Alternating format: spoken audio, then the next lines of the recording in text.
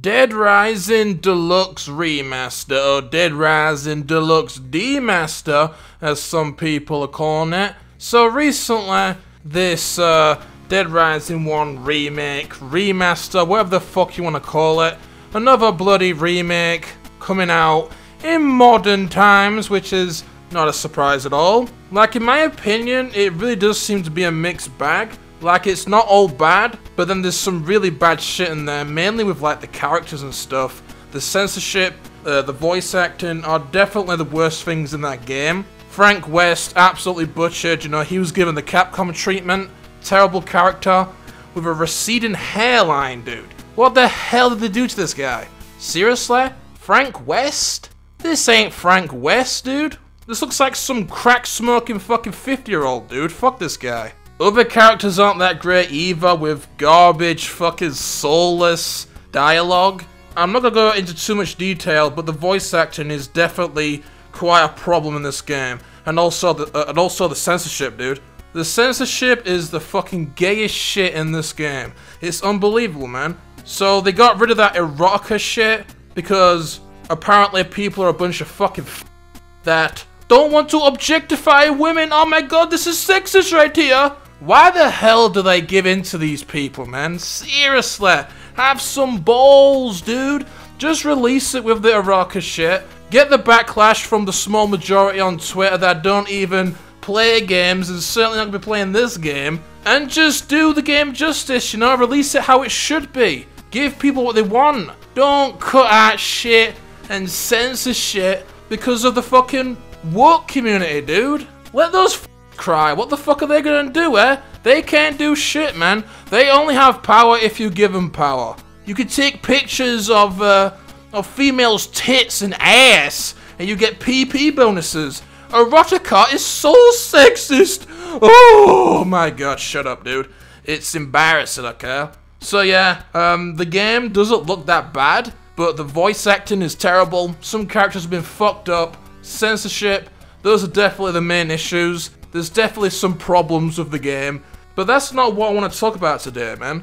What I want to talk about is the hypocritical Capcom community, man. Specifically, people making videos on this shit, criticizing it, man. Now, the criticizing part isn't the problem.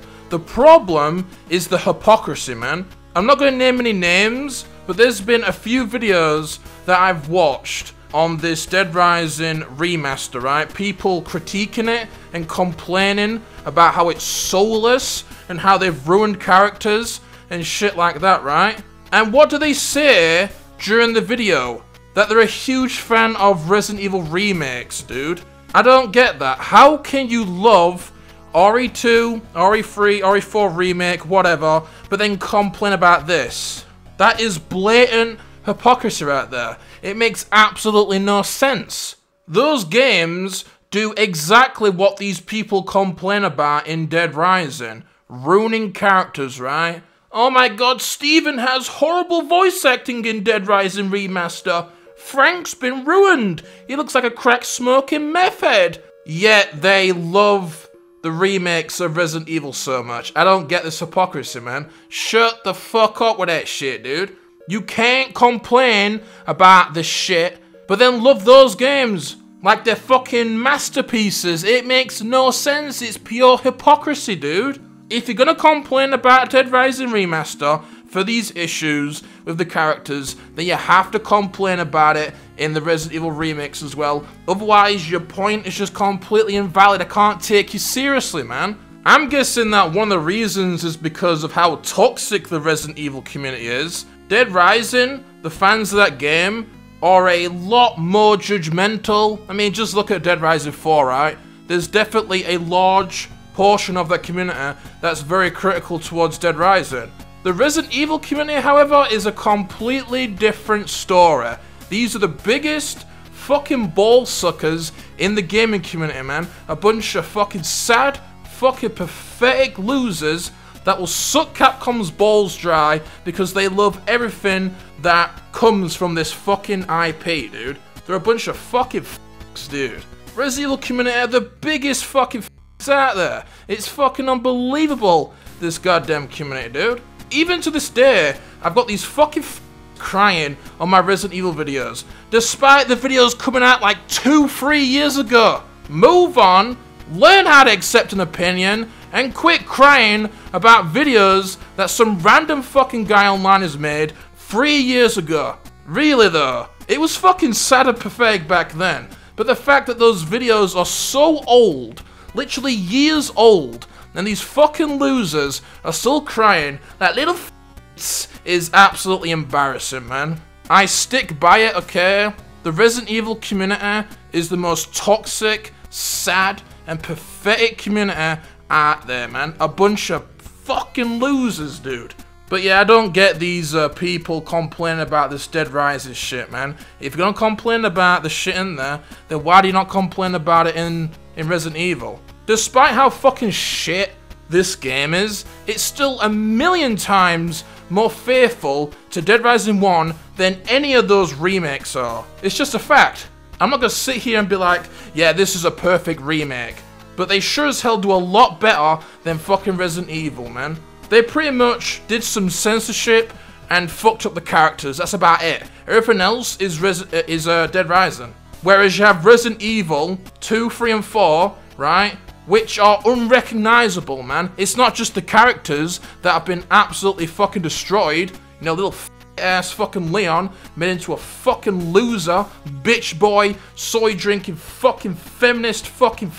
But you've also got other characters that have been absolutely destroyed. There's not a single good character. You know, you've got like Luis from RE4 that's like okay at best. But other than that, the characters are a bunch of fucking Train wrecks, okay? Horrendous characters, okay? Leon's a fucking Ada sounds like a mess. Salazar is a wrinkly, disgusting fucking freak. All the other characters are god-awful. Terrible fucking voice acting.